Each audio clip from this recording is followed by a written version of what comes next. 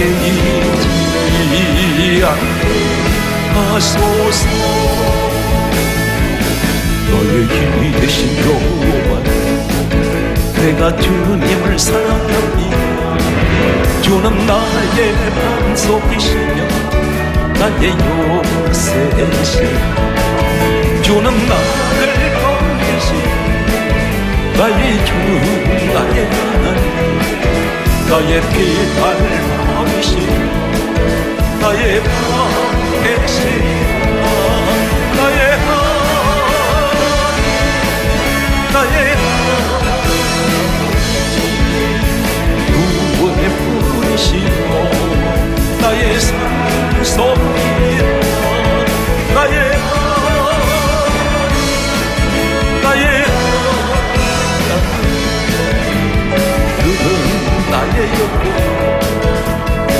나의 구세주 나의 생명 이신 여호와 내가 주님을 찬양합니다. 주는 나의 사랑이시며 나의 의지이시 주는 나를 이끄시 주의 길 인도하시니 나의 생의 목자 되신 내가 두손 듭니다. 나의 하나님 나의 생명의 혈류가 흐르고 내게 씌우소서. 나의 하나님 나의 그는 나의 영혼 나의 구세주 예수 십자가에 흘린 피로써 그대를 쉽게 얻는 그렇게 입에 한동요 그대는 저오지 않는 예수의 보혈로 그대는 쉽게 얻는 방속에 여단지 얻는 주 예수와 말씀을 그대는 행동을. 아무 때나 어디든지 그대 십자가 붙들고 있는데 예수의 보혈로 그대는 쉽게 있는 마음 속에 여러 가지 주 없는데 주님의 수 다시 올 때그대 용접할 있는가 그대 몸은 거룩하고 성종의 구할 준비가 됐는가 예수의 쉽게 있는가 마음속에 여러 가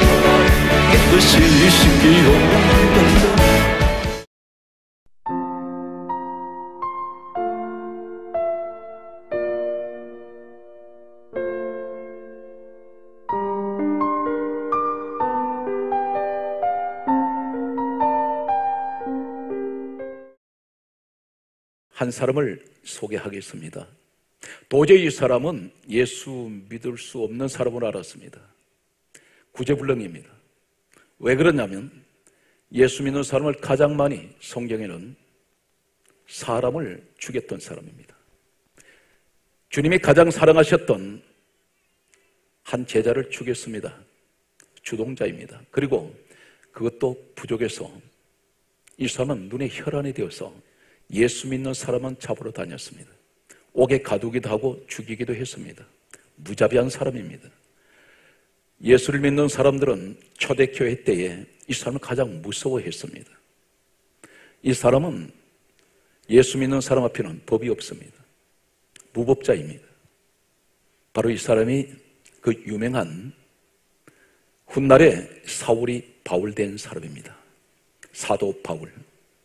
참고로 말씀을 드리면 우리가 가지고 있는 성경 27권 신약 성경 가운데 13권 내지 14권을 기록했다고 전해지는 사람이 바로 바울입니다.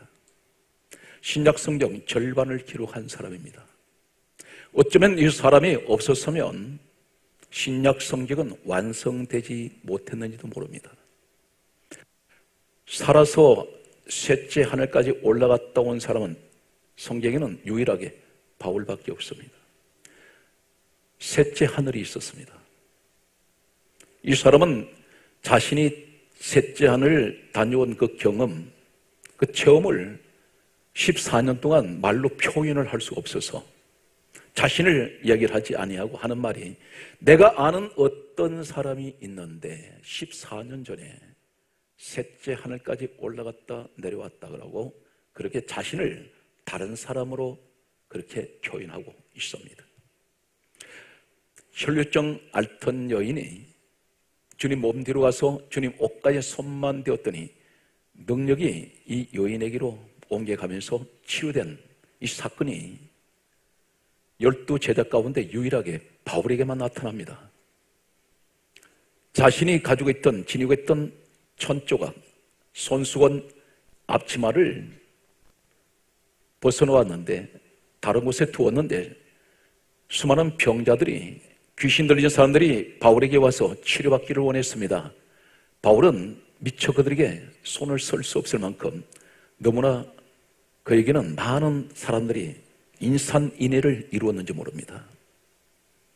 기다리다 못한 사람들은 바울이 벗어놓은 앞치마 그리고 바울이 사용하다가 놔둔 손수건을 가져다가 귀신 들리는 사람한테 갖다 얹었더니 귀신이 떠나가 버립니다. 병든 사람에게 얹었더니 병명에 상관없이 병이 치료됩니다. 바로 예수님께 있던 주님 옷가이라도 손만 대면 병이 치료될 줄 믿고 나갔던 혈류증 여인에게 고쳐지는 이런 능력이 바울에게 나타납니다. 강화할 사람입니다. 초대교회 역사를 보게 되면 가장 많은 교회를 세웠던 사람이 바울입니다. 이 사람은 아시아로 복음을 전하러 가려고 할 때에 성령님이 환상 중에 꿈에 마게도니아 사람이 이 바울을 손짓하고 있었습니다. 그 마게도니아가 바로 터키 지역 일부입니다. 그곳은 저 유럽으로 들어가는 관문이었습니다. 어쩌면 이 바울 한 사람의 복음은 이 한 사람의 복음 전파는 훗날에 유럽 전체를 복음화시키는 놀라운 복음의 꽃을 피웠던 그 장 본인이 바울이라고 말할 수가 있습니다.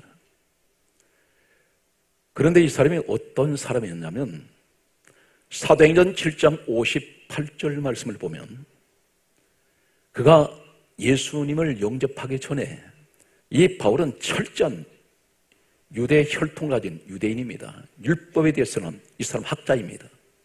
예수님을 몰랐습니다. 이 사람은 사도행전 7장 58절 말씀을 보게 되면 다음과 같은 기록이 있습니다.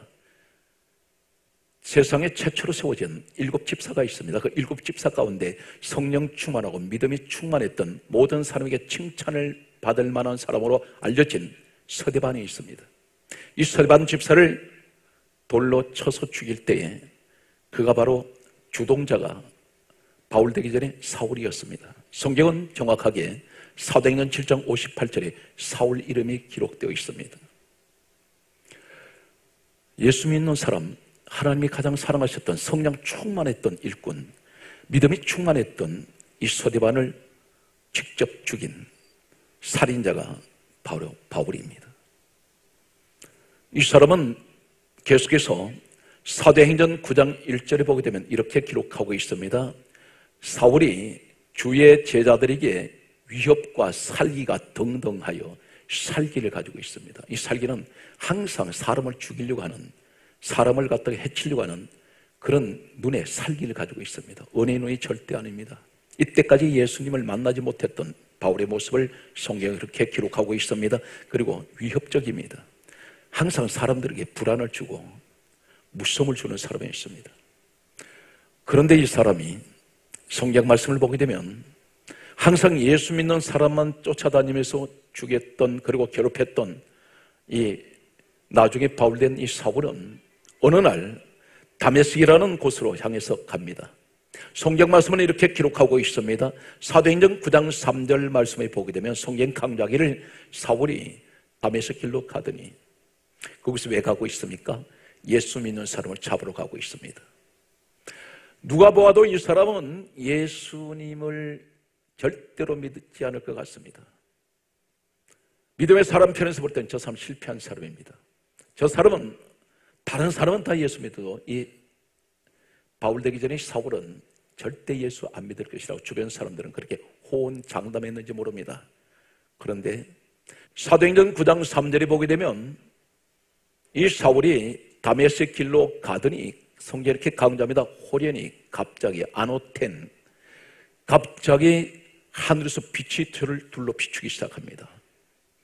이 빛이 바로 무엇입니까? 성경 말씀은 예수님께서 이 땅에 오셔서 이 빛을 가리켜 이렇게 말씀하고 있습니다. 요한복음 12장 46절에 말씀하시기를 나는 빛으로 세상에 왔나니 예수님이 빛이시라고 말씀하고 있습니다. 다시 말씀드려서 이 사울은 빛으로 오신 예수님을 영접하게 됩니다. 그가 가장 먼저 나타나는 현상은 사도행전 9장 4절 말씀을 보게 되면 빛이 저를 둘러 비추는 순간 이 사울은 성경 강자입니다. 사도행전 9장 3절에 빛이 오고 난 후에 바로 일어나는 현상은 사도행전 9장 4절에 엎드려져 버립니다. 이 엎드려졌다는 것은 꼬꾸라져 버립니다. 얼굴 땅에 쳐박습니다. 무엇을 우리에게 여기서 한 가지 언급하고 넘어갑니다. 진정으로 내가 빛으로 오신 예수님을 만난 사람은 어떡합니까? 어느 곳에 가든지 항상 엎드리는 신앙입니다. 이것이 최초로 나타나는 빛을 만난 성도의 모습을 보여주고 있습니다. 항상 엎드립니다. 무엇을 하고 엎드릴까요? 기도하기 위해서 엎드립니다. 예배드리기 위해서 엎드립니다. 겸손을 말하고 있습니다. 항상 사람들 앞에 겸손한 모습을 보여주고 있습니다. 이 겸손한 모습은 하나님께 영광을 돌린다는 사실입니다. 4절 말씀은 계속해서 이어집니다. 빛을 영접하는 순간에 엎드려지는 순간에 바로 들려오는 하나의 음성 소리가 있습니다. 하늘 소리가 들리기 시작합니다. 귀가 열리기 시작합니다. 무슨 소리 들립니까? 평소에는 빛을 만나지 못했습니다. 그러다 보니까 세상 소리만 자꾸 귀에 들렸는데 땅에서 오는 소리가 어떤 소리입니까? 근심의 소리, 슬픔의 소리, 두려움의 소리. 지금은 사방에서 귀를 열고 세상 소리를 귀를 기울이면 들려오는 소리마다 기쁨의 소리는 별로 없습니다. 거의 들리지 않습니다. 지탄하는 소리, 비판하는 소리, 공격하는 소리, 헐뜯는 소리, 죽이는 소리만 난무하고 있습니다. 그러나 오늘 이 사울은 하늘에서 오는 소리를 듣습니다. 언제 듣습니까? 빛으로 오신 예수님을 영접하고 바로 엎드렸더니 하늘 소리가 귀가 열리기 시작합니다.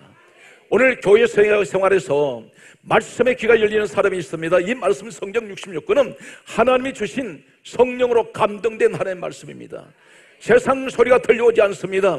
성령 소리를 듣고 있습니다. 하나님 말씀을 듣습니다. 그 말씀이 바로 무엇입니까? 요한복음 1장 1절에 말씀은 하나님이며 요한복음 1장 14절에 말씀이 육신이 되어 오신 분이 예수 그리스도입니다. 오늘 성령께서는 늘 강조하고 제가 강조합니다. 우리 성령 받기 원하십니까? 그렇다면 우리 성령께서는 사도행전 10장 44절에 성령께서는 말씀 듣는 사람에게 임하십니다. 그렇다면 오늘 말씀의 소리를 그렇게 듣기 원한 분이 누구입니까? 바로 그분이 빛으로 오신 주님을 만났다는 것입니다. 그분이 바로 엎드리는 신앙이라는 것입니다. 빛을 만나지 못한 사람은 세상 소리 길을 엽니다. 오늘 그런데 중요한 말씀은 성경 말씀은 이렇게 강조하고 있습니다. 사도행전 13장 9절의 말씀 보게 되면 오늘 빛으로 오신 예수님을 만난 이 사울된 나중에 바울 이 사람은 어떻게 됩니까? 사도행전 13장 9절에 보게 되면 성령 충만을 받았습니다. 이 사람은 빛으로 오신 주님을 만났고 성령 충만 받았던 그의 모습을 소개합니다. 이 사람은 확인하게 달라져 버립니다. 놀랍도록 달라집니다. 전혀 상상 못하는 모습으로 바꿔집니다. 어떻게 바꿔집니까? 사울이란 이름은 큰 자란 뜻이고 바울이란 이름은 작은 자란 뜻입니다. 이 사람이 주님을 용접하고 난 후에 이름이 바꿔져 버립니다. 작은 자가 됩니다. 과연 그 사람이 능력이 없어 작은 자일까요? 아닙니다. 겸손한 자, 엎드리는 자, 주님을 만났다는 것입니다. 이 사람은 어떤 모습으로 바꾸든지 오늘 이 시간 여러분이 그 현장의 주인공이 되십시오. 오늘 진정으로 빛으로 오신 주님을 나는 만났습니다. 성령 충만 받았습니다. 하는 사람은 반드시 이 바울의 모습을 우리는 닮아야 합니다. 첫째, 바울은 자신과의 싸움에서 이기는 사람입니다. 우리가 가장 정복하기 어려운 것이 무엇인지 아십니까? 나 자신을 내가 이기지 못하고 있다는 것입니다. 내가 성격이 이러면 안 된다는 거 알고 있습니다. 혈기를 죽여야 된다는 거 알고 있습니다. 고집을 죽여야 된다는 거 알고 있습니다. 내가 이렇게 가면 안 된다는 거 알고 있습니다. 그러나 내 스스로 이것을 통제하지 못합니다. 성경 말씀은 이렇게 강조하고 있습니다. 빛을 영접하고 성령 충만 받았던 바울, 그는 어떻게 달라집니까? 성경 말씀은 강조하기를 고린도전서 9장 27절 말씀을 보게 되면 이 바울이 이렇게 고백합니다. 나는 내 몸을 쳐서 복종하게 합니다. 이 복종이라는 군대 용어입니다. 순종 당일 넘어가는 것이 복종입니다. 자신은 자신을 침상을 했습니다. 자신이 자신과의 싸움을 시작하고 있습니다. 가장 먼저 예수님을 만난 사람은 자신과의 싸움이 시작됩니다. 육의 싸움이 시작됩니다. 영이 육을 다스리기 위해서 이제 내 속에서 싸움이 일어나는데 오늘 이 바울은 승리하는 사람입니다. 자신을 쳐서 복종하게 만들고 있다. 철저하게 죽이고 있습니다. 자기가 자식, 자기 스스로 통제하고 있습니다. 우리가 교회 생활에서 보면 감정 절제가 되지 않습니다. 사소한 말 한마디에 시험 들어가지고 신앙을 버려버린 사람이 있습니다. 반드시 항상 한 가지 기억하십시오. 그 은혜라는 것이 365일, 1년 내내 그 은혜 유지되지 않습니다. 순식간에 떨어질 때가 있습니다. 그때는 내 인간 모습이 그대로 드러납니다. 한 가지 강조할 거예요. 저 사람 변해서 과연 변했을까요? 지금은 은혜가 충만하고 내가 은혜 가운데 있다 보니까 세상 모든 것이 다 천국같이 보여요. 은혜가 임할 때. 그런데 내 은혜가 점점 사그라질 때 어떤 모습이 드러납니까? 옛 모습 그대로 드러납니다. 점점 교회 생활에서 긍정적인 것만 보이다가 어느 날 갑자기 내 눈에 부정적인 것이 보이기 시작합니다. 문제는 다른 사람만 있는 것이 아니라 내게 문제가 있다는 거예요. 그 문제가 어떤 것이면 은혜가 떨어지고 있다는 적신호입니다. 이때는 다른 것도 다 기도해야 되겠지만 우선 내가 은혜를 다시 회복시키기 위해서 반드시 부르짖고 기도하는 기도가 필요합니다. 첫째, 바울은 내가 내 몸을 쳐서 나는 복종케 합니다. 이것이 빛으로 오신 예수님을 영접한 사람이 하는 방법이며 또한 성령 충만 받은 사람은 반드시 자신과의 싸움에서 이기는 자입니다. 두 번째가 있습니다. 성경 말씀을 보게 되면 이렇게 강조하고 있습니다. 고린도전서 15장 8절에 보게 되면 이 사람이 고백하기를 나는 맨 나중된 자요. 이 사람은 천재로 알려진 사람입니다. 이 사람은 당시에 로마 시민권을 가지고 있는 사람입니다. 로마의 식민지로 있던 이 유대 민족은 유대인이 로마의 시민권을 가졌다는 것은 대단한 특권층입니다. 그럼에도 불구하고 이 사람이 주님을 만났더니 이 사람이 고백하기를 나는 맨 나중된 자요. 성경 말씀은 강자기를 고린도전서 19장 8절에 이렇게 고백합니다. 나는 맨 나중된 자요. 나는 만삭되지 못하고 난 자입니다. 그렇게 고백합니다. 만삭되지 못했다 있습니다. 칠삭동의 팔삭동이라는 것입니다. 이 사람이 스스로 그렇게 고백합니다. 무슨 말입니까? 어머니 배에서 태어날 때 자기가 칠삭동에 팔삭동에 다시 말해서 7, 8개월 미숙아로 태어난 것이 아니라 자기 스스로가 볼때 나는 부족한 사람임이라는 것입니다. 오늘 이것이 바로 무엇입니까? 스스로 겸손한 사람, 스스로 낮추는 사람, 스스로 작아지기려고 그렇게 이 사람이 고백하는 이 사람은 어떤 사람입니까? 진정한 빛을 만난 사람입니다. 성령 충만 받은 사람입니다. 한 가지 기억하십시오. 연말이 이제 다가오는데 교회에서 큰 소리 치는 사람 이런 사람들 보게 되면 대개가 그 속이 비어 있어요. 믿음에 꽉 찬 사람들이 아닙니다. 알곡은 알곡이 알곡이 될수록 추수 때 보게 되면 가을은 곡식이 연거리수록 고개 수그립니다. 고개는 점점 점점 땅 밑으로 내려옵니다. 한 가지 기억하세요. 오늘 요한복음 7장 37절에서 39절에 예수님께서 이렇게 말씀하셨습니다. 누구든지 목마른 자들은 다 내게로 와서 마시라. 이는 성령을 가리켜 말씀하신 것인데 내 몸에서 생수의 강이 솟아나리라 말씀합니다. 생수의 강, 강물은 어떻게 흐릅니까? 낮은 곳으로 찾아서만 흘러내려갑니다. 다시 말해서 성령을 받는 사람은 어떤 사람이 받습니까? 겸손한 사람이 받습니다. 작은 자가 받습니다. 낮은 자리에 앉는 사람이 받습니다. 오늘 사랑하는 성도 여러분 스스로 잘난 체 하면 안 됩니다. 우리는 하나님이 주신 은혜가 은혜가 점점 채워지면 채워지는 만큼 우리는 점점 더 작아지는 자리로 가야 된다는 사실입니다. 그것을 하나님이 기뻐하세요. 그래서 항상 말씀합니다. 너는 겸손하라. 때가 되면 내가 너를 높여주리라.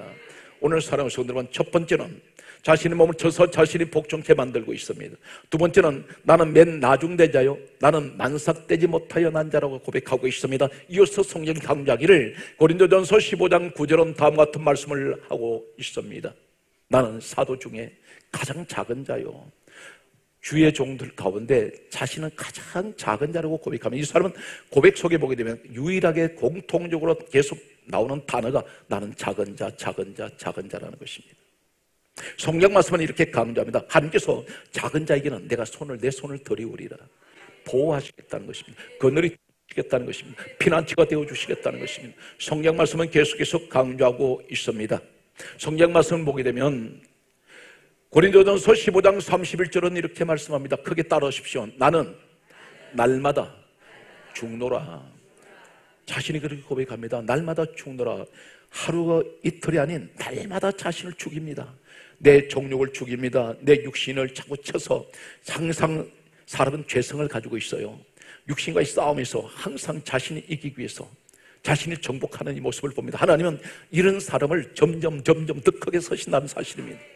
오늘 성경 말씀 보게 되면 이렇게 고백하고 있습니다. 에베소서 3장 8절에 말씀하시기를 나는 모든 성도들 중에 지극히 작은 자 중에 더 작은 자요. 잠시 전에는 사도들 주의 종들 가운데 작은 자라 하더니 이제는 모든 성도들 가운데 다시 말씀드려서 예수를 믿는 모든 그리스도인들 가운데에서 주의 종이나 성도들을 불문하고 이 사람 모든 사람들 가운데 자신은 작은 자 중에 작은 자요 작은 자 중에 작은 자. 자신은 점점 점점 더 작은 자가 되려고 이 사람은 낮아진 자리로 내려가고 있습니다. 오늘 강조합니다. 주여 우리 한국 교회가 큰 자가 되려고 하는 사람들이 없고 오직 빛을 영접해서 성령 충만받은 작은 자가 되게 하여 주시옵소서. 이것은 분명 천국입니다. 이것은 주님께서 가장 기뻐하는 사람들의 모임의 장소입니다. 오늘 이 자리 현장에 여러분들이 그 주인공이 되시기를 예수의 이름으로 축복합니다. 사랑하는 성도 여러분 기도하실 때 정욕적으로 구하지 마세요. 그건 큰 자가 구하는 기도입니다. 우리는 어떤 기도해야 됩니까? 우리 주님이 가장 기뻐하셨던 기도는 주여 나를 불쌍히 여기소서. 내가 죄인이로소이다. 오늘 하나님은 우리 주님은 이 사람을 축복하셨습니다. 우리 성경 말씀을 계속해서 소개합니다. 디모데전서 1장 15절에 말씀하시를 다음 같은 말씀을 하고 있습니다. 이 바울이 점점 점점 신앙이 깊어지, 깊어질수록 이 사람의 순교의 마지막 길을 걸어갈 때 이렇게 고백합니다. 나는 죄인 중에 괴수요 이 땅의 모든 죄인들 가운데 자신이 죄인 괴수라는 것입니다. 자신이 가장 많은 죄를 지었다는 것입니다.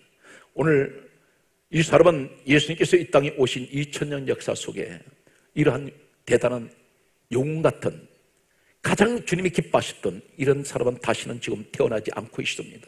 오늘, 오늘 현장에, 이 현장에 여러분이 그 주인공이 되시기를 예수님 이름으로 축복합니다. 강조합니다. 저 사람은 도저히 쓸모없어. 아닙니다. 주님이 잡으시면 오늘 이 사람은 누가 전도해서 된 사람이 아니고 주님이 직접 어느 날 담에색 길에서 이 사람을 만났습니다. 오늘 주여 이 시간 간절히 원합니다. 우리 가족들 가운데 아직도 주님 앞에 돌아오지 않는 분이 있다면 사랑하는 내 남편이, 사랑하는 내 아내가, 사랑하는 우리 부모님, 우리 형제, 내 친척, 내 친구가 주여 아직도 이 사람의 주님 앞에 오지 않고 있습니다. 그러나 주님 간절하게 소망하는 것은 주님이 손으로 붙잡아 주세요. 주님 빛을 만나게 해주세요. 성령 충만 받게 해주셔서 하나님 이 민족이 특히나 모든 사람들이 볼 때에 이 민족은 사람들이 볼 때에 저 사람은 예수 믿지 않을 것 같아. 그러나 우리 주님께서 이 상식을 깨뜨리고 주님께서 그를 만나 주셔서 우리 모든 민족이 한 사람도 빠짐없이 다 예수님을 만나서 성령 충만 받은 하나님의 사람 되게 하여 주시기를 예수 이름으로 간절하게 축복합니다.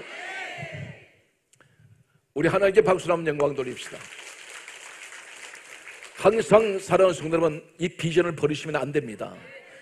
우리 주님은 어느 날 갑자기 한순간에 사람 변화시킬 수 있어요. 오늘 그 사람이 여러분 가족이 되시길 바랍니다. 그리고 자신이 오늘 그 현장에 서시길 바랍니다. 내가 내 모습을 돌아보니 늘 내가 봐도 때로는 한심할 때가 있습니다. 나는 도저히 안 돼. 나는 고쳐질 수가 없어. 아닙니다. 어느 날 갑자기 주님 찾아오셔서 만나주시면 할 수 있습니다. 한 가지 강조하고 넘어갑니다. 이 바울이 주님 찾아갔습니까? 아닙니다. 주님이 찾아오셨어요. 오늘 여러분 현장에, 여러분 삶의 현장에 주님이 방문하시고 주님이 만나주시는 기적의 현장이 되시기를 축복합니다.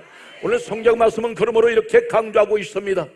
이 바울이 자신과의 싸움에서 이 사람 변화되고 난 후에 무엇이라고 고백합니까? 이 사람 입에서 계속 강조되는 입만 열면 강조되는 한 단어가 있습니다. 이 사람이 고백하기를 이렇게 말합니다. 고린도전서 2장 2절에 말씀하기를 내가 너희 중에 예수 그리스도와 그가 십자가에 못 박힌 것 외에는 나는 아무것도 알지 않기로 작정하였습니다.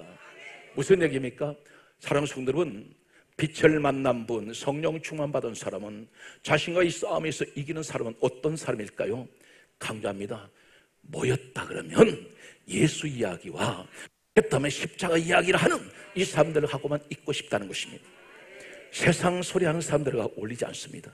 그래서 바울이 그렇게 고백합니다. 내가 작정한 것은 예수 그리스도와 그가 십자가에 못 박힌 것 외에는 나는 아무것도 알지 않기로 작정하였습니다.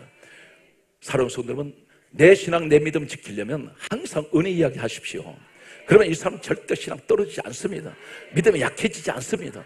그런데 모여서 세상 이야기에 주고받다 받다 보면 내가 어느 날 나도 모르게 부정적인 생각이 들어가 버립니다. 항상 기도 많이 하는 사람, 긍정적인 사람, 믿음이 좋은 사람들, 이런 분들과 늘 교제하는 여러분 되시기를 예수님의 축복합니다. 성경 말씀을 이렇게 강조하고 있습니다. 에베소서 2장 14절에 말씀하시기를 그런 우리의 화평이시니 둘을 한 몸으로 원수된 것 중간에 막힌 담을 자기 육체로 허셨습니다. 바로 예수님의 십자가에서 당신의 몸이 찢어지면서 하나님과 우리 관계에서 죄인 관계에서 막혀 있는 담을 예수님이 이것을 무너뜨렸다는 것입니다. 하나 되게 만들었다는 것입니다. 오늘 성경 그러므로 우리를 어떻게 만들어내었습니까? 신분이 어떤 신분입니까? 요한복음 1장 12절에 영접한 자 곧 그 이름을 믿는 자들에게는 하나님의 자녀되는 권세를 주셨다는 것입니다. 여러분 이 땅의 신분이 아니에요. 하나님 자녀라는 신분을 가지고 있습니다. 그렇다면 여러분 신분이 어디로 돌아가야 됩니까? 우리 고향 본향은 천국입니다. 오늘 사랑스러운 누구 때문에 그곳에 가게 되었습니까? 요한복음 14장 6절에 말씀하시기를 내가 곧 길이요 진리요 생명이니 나로 말미암지 않고는 아버지께로 오지 못한다는 것입니다. 그 천국이 못 간다는 것입니다. 성경 강조하기를 이렇게 강조하고 있습니다. 사도행전 4장 12절에 말씀하시기를 다른 이로서는 구원을 받을 수 없나니 천하 사람 중에 구원받을 만한 이름은 예수 그리스도 외에는 주신 일이 없습니다. 오늘 사랑하는 성도 여러분 위대하신 그 이름 놀라우신 그 이름 능력의 이름 기적의 이름 주님을 찬양하는 여러분 되시기 바랍니다.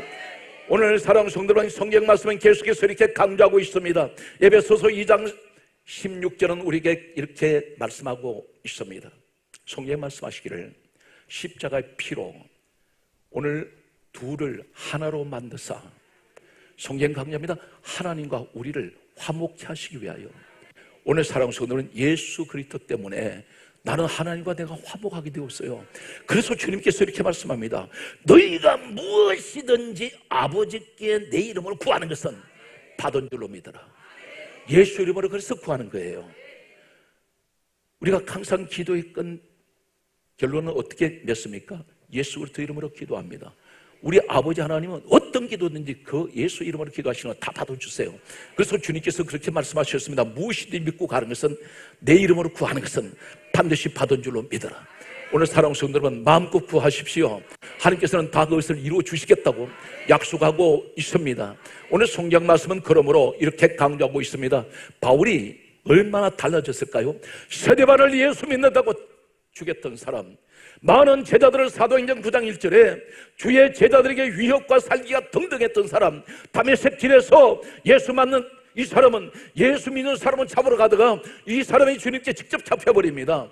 예수 믿는 사람을 잡으러 가다가 예수님을 직접 만나서 그가 잡혔는데 완전히 이 사람이 놀라운 사람이 되는데 완전히 변화된 사람이 되는데 기절 초풍할 천지가 계백하는 사람이 바로 이 바울이 됩니다. 성경 말씀을 이렇게 기록하고 있습니다. 갈라디아 2장 20절에 성경 강조하고 있습니다. 얼마나 놀라운 이야기를 하고 있을까요? 내가 그리스도와 함께 십자가에 못 박혔나니 그런 적이 저는 내가 사는 것이 아니요 오직 내 안에 그리스도께서 사시는 것이라 이 사람 입에서 이러한 위대한 충격적인 고백을 하고 있습니다. 이 사람은 도저히 예수 믿는 사람이 아니었습니다. 예수 믿을 수 없는 사람이었습니다. 모든 사람들이 단 한 사람도 이 바울대전의 사울이 저렇게 변화될 줄은 몰랐습니다. 로마서 14장 8절에는 다음 같은 말씀을 하고 있습니다. 내가 살아도 주를 위하여 살고 죽어도 주를 위하여 죽나니 그러므로 살아 죽거나 내가 그리스도의 것이로다. 이 사람은 내가 살아도 주를 위해 살고 죽어도 주를 위해 죽고 내가 사나 죽으나 나는 주의 것입니다.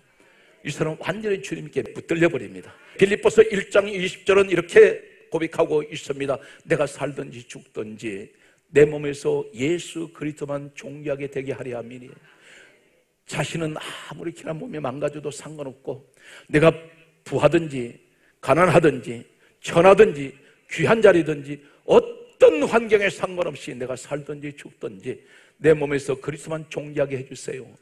오늘 살아온 성들은 이 바울 같은 위대한 이 사람 우리 하나님께서 감동하시고 기뻐하셔서 이 사람의 성경을 기록하게 하십니다. 오늘 사랑하는 성도 여러분, 여러분이 그 주인공이 되시기를 축복합니다. 간절하게 우리는 기도할 때 어떤 기도해야 됩니까? 주여 이 땅에 각 교회에 바울 같은 집사, 바울 같은 권사, 바울 같은 장로 많은 분들이 일어나게 하여 주시옵소서. 그리고 이 시대에 가장 하나님께서 기뻐하시는 주의 종들 가운데 바울 같은 주의 종들이 많이 일어나게 해 주셔서 하나님 민족을 구원하여 주시옵소서. 사랑하는 성도 여러분, 한 가지 기억하세요. 오늘 여러분 말씀을 들으면서 내가 구한 기도하고는 왜 주제가 다르지? 그것이 무엇인지 아십니까? 여러분은 무조건 하나님 앞에 나와서 무엇을 내놓으라 할 때에 응답하지 않습니다. 성경이 이렇게 강조합니다. 우리 주님이 가르쳐 주시기를 너희가 무엇을 먹을까, 무엇을 입을까, 무엇을 마실까 이러한 것은 구하지 말라. 아버지께서 천부께서 이러한 것이 너희에게 있어야 할 줄을 아시느니라. 다 알고 계신다는 것이다. 먹고 마시고 입는 것, 의식주 문제, 먹고 사는 문제, 걱정거리 다 알고 계신다 있습니다. 우리 하나님께서 우리를 지으신 분입니다. 다 알고 계세요. 한 가지 기억하세요. 기계를 누가 만들었을 때 기계를 만든 사람이 그 기계에 대해서 잘 알겠습니까? 아니면 중간에 수리하는 기계 전체 내용을 잘 모르는 수리하는 사람이 알겠습니까? 만든 사람이 너무나 정확히 알고 있습니다. 그렇다면 우리 하나님이 우리를 지으셨어요. 당연히 먹고 사는 문제 주님이 알고 계십니다. 그런데 무엇이라 말씀합니까? 무엇을 먹을까, 무엇을 마실까, 무엇을 입을까 이러한 것을 구하지 말라. 이것은 천국께서 너에게 있어야 할 점이 아시는데 가장 먼저 하신 말씀이 너희는 먼저 그 의와 그날을 구하라. 그리하면 너희에게 이것을 더해 주시려. 사랑하는 성들은 우선적으로 무엇을 구해야 됩니까? 하나님 이를 구하세요. 그러면 하나님이 이것을 더해 주시겠다 했습니다. 구하지 않은 것을 더 주시겠다 했습니다. 오늘 사랑하는 성들은 주기도를 우리는 이야기를 합니다. 주님이 가르쳐 주신 기도가 주기도인데 주문같이 유오지 마십시오. 주기도 문이 아니고 주기도입니다. 주님이 가르쳐 주신 기도란 말입니다. 그 기도의 순서가 어떻게 됐습니까? 첫째, 하늘에 계신 우리 아버지요. 하나님 영광입니다. 하늘에 계신 우리 아버지의 첫 번째 기도입니다. 하늘에 계신 우리 아버지의 이름이 거룩히 여김을 받으시오며 나라에 임하옵시오며 하나님의 뜻이 이 땅에 이루어진 같이 하늘에서 이루어진 같이 이 땅에서 이루어지게 해주세요. 이것이 첫째 기도가 되어야 됩니다.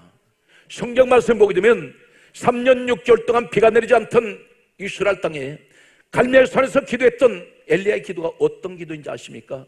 열왕상 18장 36절에서 37절에 보면 38절에 하늘에 불이 떨어지면서 비가 내리기 시작하는데 이때 이 사람의 기도가 어떤 기도냐면 다음 같은 기도를 하고 있습니다. 하나님 하늘에서 닫혀버린 3년 6개월 동안 비가 내리지 않던 이 땅에 구름을 하나님 보내주고 비를 내리게 해주세요 기도하지 않았습니다. 그게 첫 번째 기도가 어떤 기도 아십니까? 하나님 저들이 하나님이 누구신지를 하나님이 누구신지를 알게 해주세요. 이것이 첫 번째 기도예요. 비 내려달라는 기도가 아니라 우리는 결론만 찾습니다. 하나님 물질 축복 주세요. 병 고쳐 주세요 하는데 가장 중요한 것은 우리에게 말씀합니다. 엘리야의 기도가 얼마나 중요한 기도인지 아십니까? 비를 내리게 하시는 그분이 비를 내리게 하신 그분이 나를 고쳐주시는 그분이 오늘 엘리야 그 기도합니다. 하나님 이 백성이 하나님이 누구신지를 저들이 알게 해주세요. 오늘 우리는 무엇을 구하기 전에 내가 원하는 것을 구하기 전에 하나님이 누구신지를 알게 해달라는 것입니다. 그분이 나의 구주이시고 그분이 메시아이시며 빌립보스 2장 6절에 근본 하나님 본체 되시는 예수 그리스도가 십자가에 오셔서 죽으신 이유가 나를 위해서 죽으셨는데 하나님 내가 어떤 생활이든 나 하나님 나 만족하며 감사할 수 있습니다. 나 구원해 주신 것만 해도 감사한데요. 하나님 염치 없지만 내가 주님 앞에 무엇을 보답하겠습니까?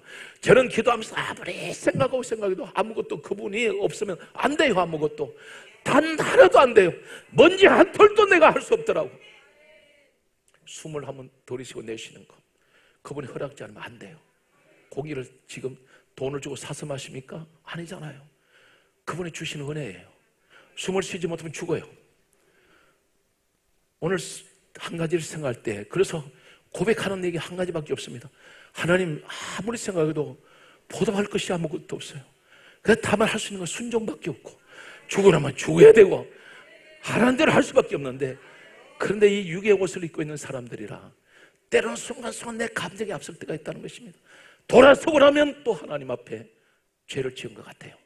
그래서 엎드려서 뭘 달라고 하기 전에 하는 잘못했어요. 오늘 어제보다 더 나은 오늘이 좀 정직하고 더 진실하게 더 열심히 하고 싶은데 하나님 그게 또 그러지 못했습니다. 또 넘어졌습니다. 우리는 날마다 다람쥐 처박이 돌듯이 그렇게 기도하다 보니까 어떤 데는 도저히 하나님 양심이 가책이 되어서 기도하기 힘들어요 할 때 아니다. 내가 너 그렇게 약하게 지은 거 내가 알고 있고 너는 그럼에도 자꾸만 기도하면서 너는 자꾸만 내게 가까이 올 수밖에 없지 않네. 하나님은 우리 약한 것을 아세요. 성경 강자입니다. 내 약한 것을 아시기 때문에 성령께서 우리의 연약함을 그분이 돕고 계신다는 것입니다. 오늘 사랑 성도는 혼자서는 설 수 없어요. 성령님이 나를 붙들어 주시니까 내가 그나마 버티고 있는 거야. 그분이 손 놔버리면 나는 그대로 나가 떨어집니다. 우리는 이 사실을 고백해야 돼요. 제가 다급한 분들의 기도를 요청받을 때가 있어요. 놀라운 사실은 하나님이 다급하게 기도할 때 12시간 동안 가족들은 이 사람이 뇌출혈이 이게 혈관이 터져가지고 피가 뇌 속에 잔뜩 고이는데도 모르고 저분이 자는 줄 알았습니다. 아침에 됐는데 안 일어나니까 보니까 이 사람이 의식을 잃어버렸어요. 병원에 실어갔더니 이 사람 이미 더 이상 가망이 없다 그랬습니다. 급하게 전화로 제가 전화기를 연결시켜 줬길래 전화를 하면서 전화로 가장 중요한 것은 혈관의 피가 지혈이 되질 않아요. 피를 뽑아내는데도 계속의 피를 흘러내리고 있기 때문에 지혈이 되지 않아서 어떻게 안절부절 병원에선 어떤 손을 쏠 수가 없었습니다. 이 환자는 의식이 없어요. 그런데 전화기를 갖다 대고 나사렛 예수 그리스도의 이름으로 명하노니 피가 멎을지어다. 놀라운 일은 기적 같은 일로 피가 멎어버렸어요. 사랑하는 성도 여러분, 하나님이 살아계시지 않으면 어떻게 그 기도 들으시겠습니까? 전화로 피를 멎을지어다 했는데 피가 멎을 수 있겠습니까? 이분이 일반 병실로 옮겼어요.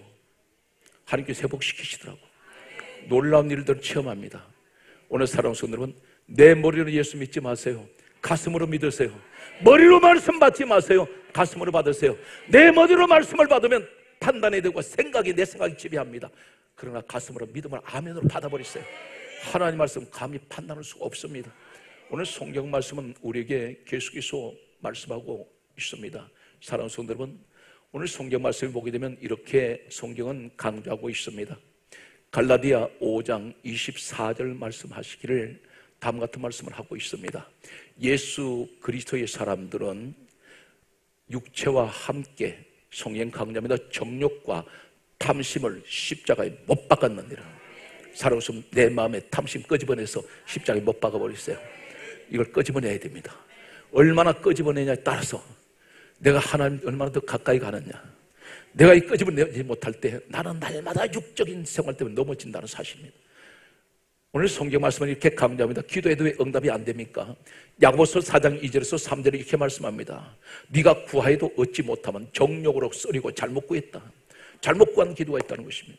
정력적으로 구한 기도가 있습니다. 탐심. 성경 말씀은 골로새서 3장 5절에서 6절에 말씀하시기를 탐심은 우상 숭배니라. 이것들로 인하여 하나님의 진노가 임하신다 있습니다. 내게 이게 탐심, 우리의 사회를 보면 내가 가지 말아야 될 자리, 걸어가야 되지 못할 자리를 그 자리를 내가 탐을 내고 욕심을 내고 그 자리까지 가려다가 폐가 망신당하는 사람 많습니다. 특히나 권력가들 보세요. 그 자리 내가 가지 않으면 내 자리 내가 지킬 수 있었는데 우리는 한 첩도 내줘보지 못한다는 것입니다. 그러다 보니까 사회가 갈라져 버리고 찢어져 버렸습니다. 오늘 성경 말씀은 이렇게 말씀하고 있습니다. 그러므로 갈라디아 6장 14절에 바울이 마지막 고백하는 내용이 있습니다. 내게는 우리 주 예수 그리스도의 십자가 외에는 결코 자랑할 것이 없습니다.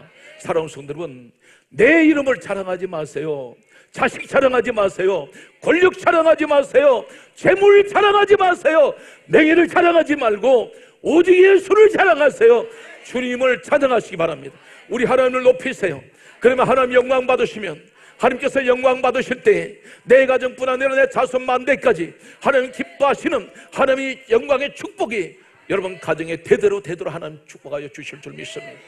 이제 연말이 다가옵니다. 항상 주어진 그 생활 속에 충성하십시오.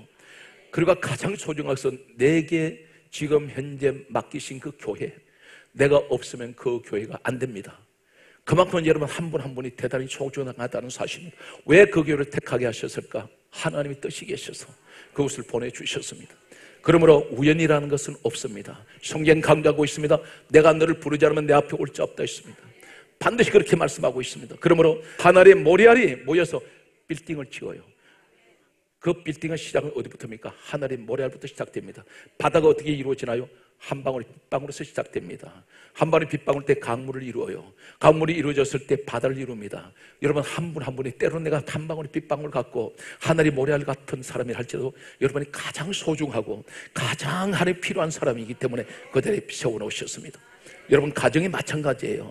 항상 여러분 내 한 사람이 아니면 내 가정이 무너질 수가 있고 우리 교회가 무너질 수 있습니다. 그러나 내한 사람 바로 설 때 가정이 바로 서고 교회가 바로 서고 사회가 바로 설 수 있습니다. 항상 모든 국가는 한 사람으로 시작됩니다. 그 사람이 바로 여러분이 되시기를 예수 이름으로 축복합니다.